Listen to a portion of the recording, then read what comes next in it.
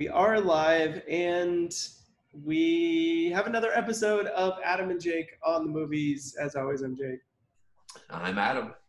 And this week we are talking about keeping the faith. So, real quick, we um, every week watch a movie, answer a few questions, talk about the movie, say if we recommend it or not, and then we get out as quick as possible.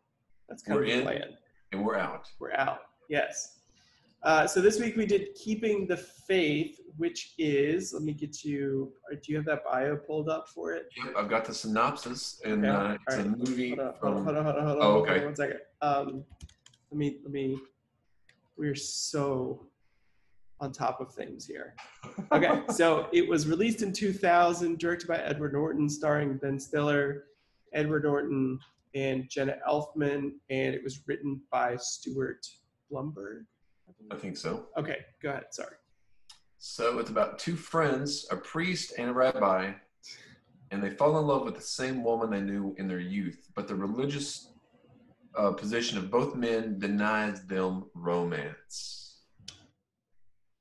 All right. And that's so the basic premise for the most part. You'd seen this before.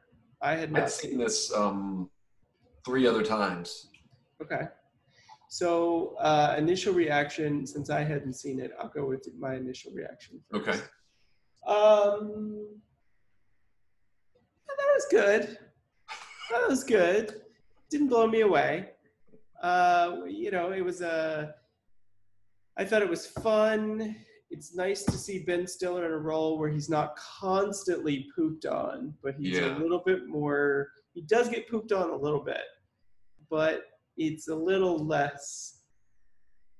Yeah, it's a little less Ben Stiller pooped on Yeah. uh, because he's very successful. Like he's very successful at his job. He's very good at it. Uh, I thought that um, I thought it was well. It was well, mostly well acted. I thought the characters were pretty fun. Uh, it was a bright movie. It was a pretty happy movie Yeah. Yeah. that um, so yeah i thought afterwards i felt yeah satisfied Okay. Okay. yeah what about you Now, this was a movie that um, I found weird that Edward Norton had directed this movie because he's usually in darker type movies. So you would expect, you know, he's been in Fight Club and um, just a lot of darker type type movies. So I was kind of surprised that he directed this, but he directed this for his mother. So it was kind of like you know a light movie for his mother. I think maybe before she passed away. I might be wrong about that part of it but I had I'd read a couple of different things, so I could be wrong. But after seeing this movie, I um I enjoyed this movie. It was it was a light romantic comedy. It was the kind of movie whenever I watched it originally that I wanted to set out to make.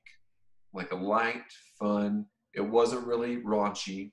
It had some laughs. They weren't belly laughs. I thought the chemistry between the um the leads were good and I thought it was a fun movie. I just had a few minus a minute miniature criticisms. that's the perfect transition what would you what would you change about it Well, I'm sure you know one thing that I would change, because I say it about every movie. The movie is too long. It is two hours and eight minutes long.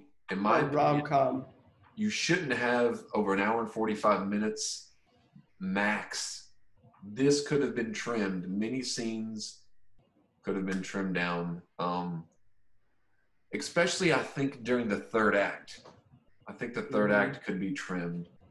But I, I think um, that's my biggest criticism is it's it's about 25 minutes too long. And it near when, whenever I have to shift in my seat several times, it's it might not be because the movie's bad, but it's because the seat's uncomfortable and the movie's too long. I I completely agree with you. I think it's about 25 to 30 minutes too long. I think that the the beginning it takes so long to get into the story That's true too. that I I'm like, all right, let's just get into this and let's go. I do appreciate kind of how he started with him drunk, but I still am like, I would just get into it. Then I thought the second act was was good, but then I was like, she's here, and then she's I can't really figure out if she left yet. Right. Uh, so there was a lot going on there. And then the third act, I thought again was I thought the third act was okay. Okay. I wouldn't cut as much from that. I just thought I think it took too long to get into it. It took too long for them to try to convince the audience that they were friends. Yeah. Got it. You're friends. Let's just do that. Let's just be friends and let's just move on. Um, controversial. You ready? Okay. The number one thing that I would do if I were to direct this film, recast Jenna Elfman's character. Really? Recast her. Okay. I, I did not like it one bit. I thought that she was like even her introduction into the film where she comes off the airplane with her glasses on, yeah. all of a sudden I just hated her. I didn't like her. And then throughout the entire movie, I just kept getting more and more tired of her. I didn't like the way that she talked. I didn't like the way that she carried herself. Uh, I think she she took so much. Like there's a like even a Leoni in Yeah. the other film that we watched. Flirting with Ben Stiller. disaster. Yeah. Yeah, even her in that film, I like her. I think she's kind of funny. She's kind of you don't take her as seriously, but you still kind of know she does what she's doing. Yeah. I think casting someone like her in that role could have been good. That would be Uh, casting. Yeah, I'm trying to think of who else. Even um, who was the other character? Who's the other one? Uh, she's from that family of actors from Flirting with Disaster. Oh, the um, Arquette lady. Yeah, yeah, Patricia Arquette. Even her in there, like I was thinking a couple other people, but I'm like, I don't think they could pull off. But um or a Cameron Diaz. I could see Cameron Diaz in there. I could see Somebody like there. that. I really did not like her character one bit. She, I think she took away from the movie, and I didn't like that she was pulling these two people apart because I liked Ben Stiller's character.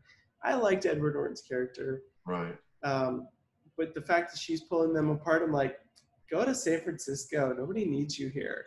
Yeah, because she kind of came in out of the blue, Yeah. and they had been lifelong friends this entire time. So I understand she's making the glue of their friendship.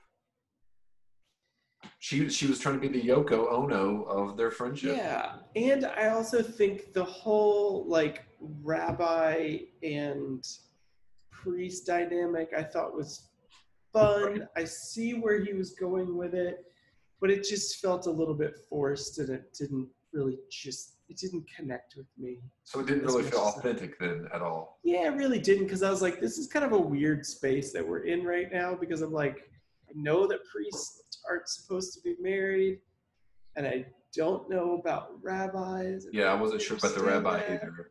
So I the guess whole they time, married someone married married somebody like married somebody Jewish or something Jewish, like that. yeah. So that was just where I was. Okay. I don't know, but anyway, anyway. All right, so let's switch gears. we spent too much time talking about that. What do you think about the main character's arc? Who would you say is the main character? What did you think about their arc? I'm gonna put. Um, I'm gonna do a dual main character of Edward Norton and Ben Stiller. Sorry, I'm taking this first because I That's who I think as Okay. well. I think that's who I think as well. I think that it's there, but it's not as strong as it could be Yeah. because I feel like there's similar people at the beginning than they are at the end. I would almost say Jenna Elfman's character arcs more than theirs does. Yeah. Because she changes her life around way more. Yeah. So I, I think it's a little, little iffy, but I would, I would say if Elfman's character, yes, their characters could have been stronger. You could have set them up a little bit earlier, so that by the end we can kind of see their payoff a little bit. Yeah, I What agree you- with that. I'm, I'm going to go with pretty much what you said. Um, the three, because there are three, basically two leads, and then she's also the, the lead female, and she does have the big, bigger character arc because really the only thing with Ben, uh, ben Stiller's character is his mother has to accept that she's not Jewish. That's the Mhm. biggest hurdle because Yeah. he's going out on the, all these dates and he doesn't like any of these women, but yet there's this woman that he likes. She happens to be not Jewish. So what's the hurdle for him?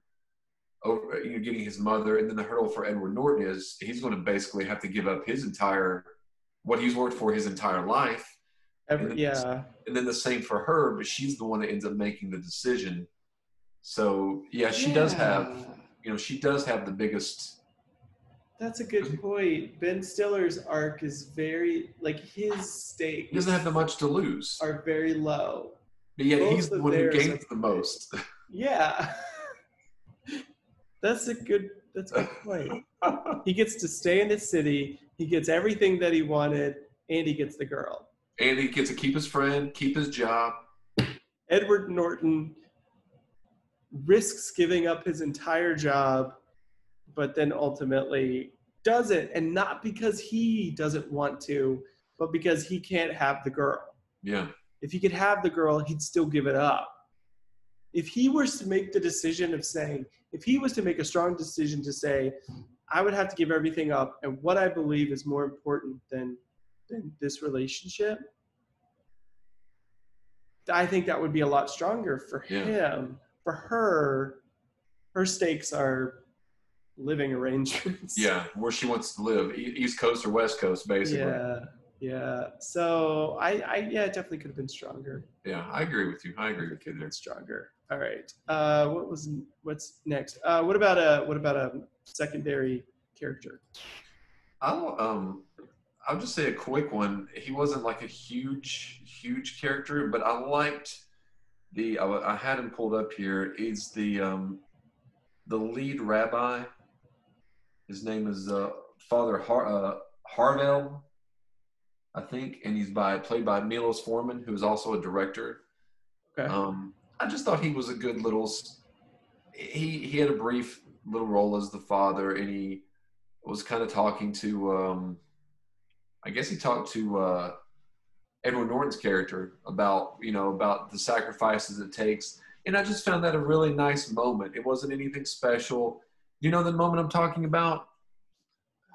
It's like he's in there and he's talking. He's, telling about what you know what it is, whether he should give up basically his life, and then he tells the you know, there's sacrifices you're going to have to make, and you're going to be questioned, and you're going to you know all these self inner inward things and it, it didn't really add much to the movie but i thought the scene was a nice scene and i thought it would be something very true because i mean these have to be something that some of these um you know these people in these religions have to think about am i strong enough to give up love a love for a woman to you know fulfill my promise to god and so I just thought it was a nice little touching moment. You know, it wasn't silly, it wasn't over dramatic. I just thought it was a nice little moment. So I thought his character was a nice little secondary character. You know, nothing great, but you know, that was mine. Yeah. No one else really stood out as second. The you know like the bartender. yeah, I think he was he. I, I would. I don't even. I can't. I don't even know. I'm like looking it up. Sorry if I'm looking off camera. It's because I'm looking at my. yeah. I'm looking down at Monitor. IMDb as well. Uh, but the the bartender is that. Um, I think it's Larry Friedman. Is that Larry Friedman? I don't know who it is. Or is it Paul E? Yeah, I'm not. I'm not sure. Yeah, I would say the the no, it's not probably. Um, yeah, I would say the bartender maybe. Uh, didn't care too much for the mom. Uh, who, She was kind of unlikable. yeah, which that's uh that's Anne Bancroft, which I'm pretty sure is yep from The Graduate. Yep. Yeah, And I thought she Diff- was a completely different role, yeah, completely different. completely different. But I yeah I thought she um she's okay, she's fine. But yeah, I would say probably the bartender. Okay. Okay. whoever the bartender happened to be. Uh, okay, so what about the? Let's talk about the music. I thought the music was good. I know there were a few moments where the music kind of came in and there was a song playing. I didn't really identify many of the songs. I know the song, uh, the Matchbox Twenty, uh, the Rob Thomas and Santana song "Smooth" That okay, yep, in Yep. there. that Uh-huh. one. Uh, and I think it had had your typical romantic comedy score. It was. It, I think it fit. It wasn't outstandish. I don't really remember anything. It just seemed like your typical what you'd expect, as far as I remember. yeah, same thing. Same thing with me. Um, there's very few sick, uh, uh, romantic comedies that have good music. Yeah. I think that um, the classics do. Like uh, You've Got Mail, I think it's got really good music. Serendipity to me, I think has great music. It's a good movie. it. It's a fun movie. I like that movie. I like those a lot, but this one just kind of fit the mold. Of, Yeah. I don't, you know. just It's kinda- like any any composer could just slap together the music for this. Yeah, and let's see what the next. Let's see what songs are coming out in the next year that we can slap into in there. for marketing's sake. So, yeah. Uh, what was your favorite scene? You want me to take this one? Yeah, you go ahead. Uh, I, I, my favorite scenes, I'll, I'll say scenes, is that they're kind of the montage back and forth scenes as they're both growing their uh, churches. Yeah. Like you see at first that they, they kind of go like as they're learning, like Ben Stiller's there and he's like, his, his mom says something and he's like, thanks mom, because there's like 15 people in the crowd. And then when Edward Norton's trying to train and he, it gets a little silly, he's walking with that thing and then he accidentally hits the guy in the head. And then he catches something on fire and has to jump in the holy water. so there's a lot of little fun little things. And I think, if I remember correctly, I think it's a montage cutting back and forth between the two mm-hmm. and then they grow their their crowds at the very end and they both i mean not the end but the end of the montage and they both have big crowds and they're successful so that whole little thing and i like also when uh, when um, ben stiller goes out on the date with the fitness lady i thought that was but i also thought that when he goes out on the date with that fitness lady that asked him to punch her That- that dives more into the traditional Ben Stiller movie because he typically that's the kind of stuff that happens. Or when he's like "Oh, that cab, go go go go, and she falls down to the curb and she's like, oh wow. yeah. So Yeah. There was definitely some Ben Stiller early on. I love the punching. yeah, part. I, I was a big fan of that one. That actually, last night when I was watching it, I think that one was my favorite scene. okay, But I was going to use the scene in the bar with the with the with the confessional with the bartender. I thought that turned out to be to me, if you put everything together, that was probably like the most benef- like impactful scene yeah, but I really did like the bad date that he had. And then I, you know, it kind of made me sad when he had the good date with uh with the uh, she was I guess a journalist or reporter Yeah, or yeah. something. Yeah, that one kind of made me sad, and they never really tied up that loose end. I don't no, it was only like that one thing that I've I've seen her in one or two other things. That girl was in a soap opera. Oh, And uh, but she she's mainly I've never really seen her in that many other movies. I've just I saw looked her up one time and she's in a soap opera. I would love to have seen her come back at the end and be the other, almost like be someone that could pull him away. Yeah, yeah. that makes him make that last decision, that final decision. But uh, you know, I, I get that. I see what's there. But yeah, I would probably say the confessional scene. I thought was that was pretty good. Alrighty. So, what uh, what's your? Oh, uh, let me. Whose whose turn is it? My turn. It's your turn to take it. Yeah. Okay. Final thoughts on this film. I think it's very obvious that it was Edward Norton's first direct. It was his directorial debut, and really, it's the last one until Motherless Brooklyn. Yeah. I think that was pretty obvious because I don't think the characters were completely shaped out exactly how they needed to be. I think the story had some holes in it, like we talked about with that one character, the reporter who goes away and never comes back. Yeah. Uh, there's a lot of goofiness at the beginning that that is either unnecessary or does or like It doesn't really fit in. it's not there for the rest of the movie. So it's like, do we need it? If you do, let's put more in later. Um, I think that uh, I think there's too much, too much time and too little story. Uh, I don't think that Jenna Elfman's character really accomplishes what she needs to accomplish. I don't think the stakes are right for it. All that to say, that's me being very critical as a Yeah. you know study someone who studies film. So do I think it's the best film I've ever seen? No, definitely not the best film I've ever seen. Uh, do I think it's you know if you like Ben Stiller, if you like Edward Norton, if you like these these fun little films, is it worth the time? Probably. Like if you're one of those people where you're like, we watch a movie every weekend, we just need a movie to watch. Yeah. If we want yeah. it to be a rom com, throw this one in the mix. You'll you'll be like, okay, great, we watched it. Now let's move on. Yeah. Um, definitely has good name pow, star power in it, Yeah. but um, will I watch it again? Probably not. Probably. What about you? I I the older that I've gotten, the less I, and I and I say this very softly, the less that I like it.